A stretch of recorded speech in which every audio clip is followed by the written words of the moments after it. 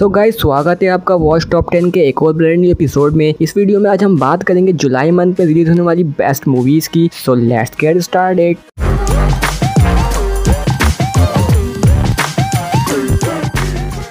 सबसे पहले बात करते हैं टेक द नाइट की, जो क्राइम ड्रामा मूवी है जो रिलीज़ होगी 8 जुलाई को। मूवी की स्टोरी की बात करें तो ये कहानी है दो भाइयों की, जहाँ यंगर ब्रदर प्लान बनाता है अपने भाई की फेक किडनेपिंग का, उसको सरप्राइज़ देने के लिए। ये फेक किडनेपिंग कैसे एक असली रूप ले लेती है और कैसे वो किडनेपर्स कितने बड़े गैंगस्टर निकलते हैं, यही सब मूवी में आपको अच्छी तरह प्रेजेंट किया गया है। अब कैसे ये अपने भाई को उन गैंगस्टर से बचाता है, यही आपको आठ जुलाई को पता चलेगा। सो बोस मूवी को एक ट्राई ज़रूर दें। नंबर नाइन पर बात करते हैं पॉस ऑफ़ फ्यूरी की। तो ये एक एनिमेटेड मार्शल आर्ट मूवी है जो इंस्पायर है Mel Brooks 1975 movie blazing saddle से। मूवी की स्टोरी की बात करें तो एक टाउन में बहुत सारी क्यूट बिल्लियाँ रहती हैं, जिनको ज़रूरत है एक हीरो की, जो उन्हें अपने टाउन के रूथलेस विलन से बचा सके। वहीं फिर एंट्री होती है एक डॉगी की, जो समुदाय बनना चाहता है, लेकिन उसे समुदाय का कुछ भी नहीं आता। अब कैसे हैंग उसे ट्रेन करके समुदाय बनाता है, यही सब देखकर आपको काफ़ी ज़्यादा हँसी और मज़ा आने वाला है। नंबर एट की बात करें तो उस पर है बॉलीवुड की एक मूवी एक विलन रिटर्न जो की सीक्वल है, एक विलन का। मूवी की स्टोरी सेम बेस्ड एक सीरियल किलर पर है, जो लड़कियों को ब्रूटली मर्डर करके सेम मास्क वहाँ पर छोड़ देता है,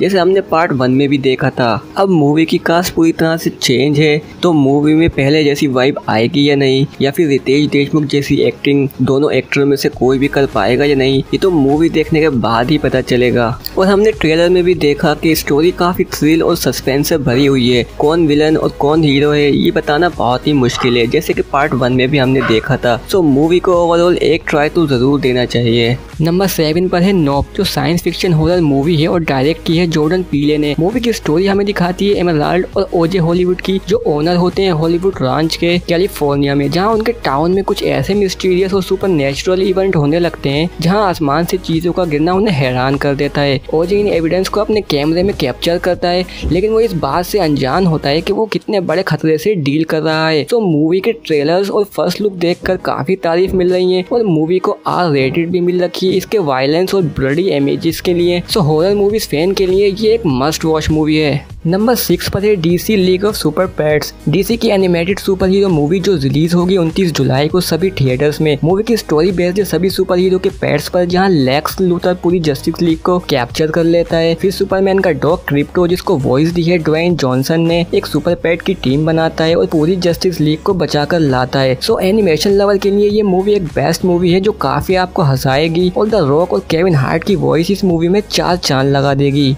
नंबर फाइव पर है द सी बीस्ट अगर आप मोना और बिग हीरो जैसी ब्लॉकबस्टर मूवी के फ़ैन हैं तो आपके लिए इन मूवीज़ के डायरेक्टर एक और एडवेंचर मूवी लेकर आ रहे हैं द सी बीस्ट जो हमें स्टोरी दिखाती है एक सी मॉन्स्टर जेकब की, जिसकी लाइफ पूरी तरह से अपसाइड डाउन हो जाती है, जब उसकी शिप पर एक छोटी बच्ची गलती से आ जाती है। अब आगे क्या होता है? कैसे वो एक छोटी बच्ची को लेकर इतने बड़े बड़े मॉन्स्टर का सामना करेगा? यह आपको मूवी देख के खुद पता लगाना होगा। मूवी का एनिमेशन एकदम कमाल का है, जो काफ़ी हद तक आपको मोना की याद दिलाएगा। सो मूवी को एक बार तो ज़रूर से देखें। बात करते हैं यशराज बैनर की फ़िल्म शमशेरा की, जो हमें स्टोरी दिखाती है आज़ादी से पहले सन 1800 की, जहाँ कुछ ट्राइब ब्रिटिश से अपनी आज़ादी के लिए लड़ते दिखेंगे। तो बॉस ये सब तो हम पहले भी देख चुके हैं। अगर हाँ कुछ नया है तो वो है रणबीर कपूर का लुक जो हमने इससे पहले कभी नहीं देखा। बाकी यशराज बैनर की फ़िल्म है तो पैसा तो काफ़ी लगाया है। और जैसे हमने ट्रेलर में देखा, कुछ एक्शन सीन्स और सेट भी काफ़ी हद तक ठीक है। बाकी मूवी में क्या ऐसा इन्होंने करा है, ये तो मूवी देख ही पता चलेगा।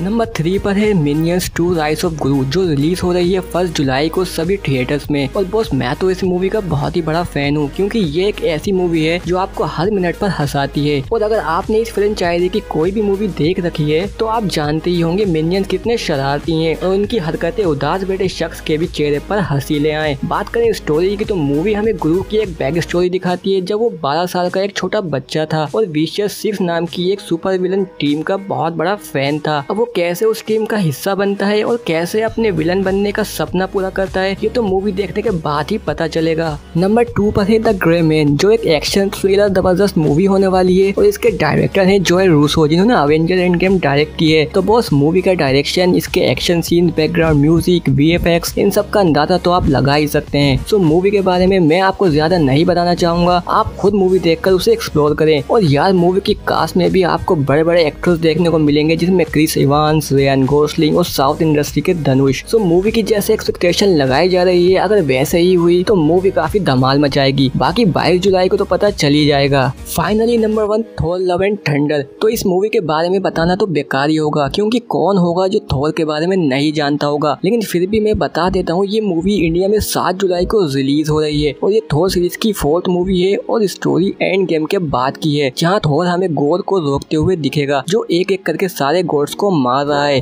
अब थोर कैसे उसे रोकेगा ये तो बॉस मूवी देखने पर ही पता चलेगा। वैसे कहा जा रहा है थोर फोर थोर सीरीज़ की सबसे बेस्ट मूवी है। चलो देखते हैं। और इसके अलावा भी बॉलीवुड में और बहुत सारी बड़ी मूवीज़ रिलीज़ हो रही है, जैसे फ़र्स्ट जुलाई को रॉकेटरी और ओम आठ जुलाई को खुदा हाफिज चैप्टर टू और hit the first case release हो रही है पंद्रह जुलाई को। वहीं शाबाश मिट्टू पंद्रह जुलाई को रिलीज़ होगी और एंड में सबसे लास्ट में अट्ठाईस जुलाई को विक्रांत रोना। सो गाइस आज की वीडियो में बस इतना ही। वीडियो को लाइक एंड शेयर करो और लाल वाले बटन को सब्सक्राइब करो। बाकी मिलते हैं नेक्स्ट वीडियो में एक और नई वीडियो के साथ। तब तक के लिए बाय एंड टेक केयर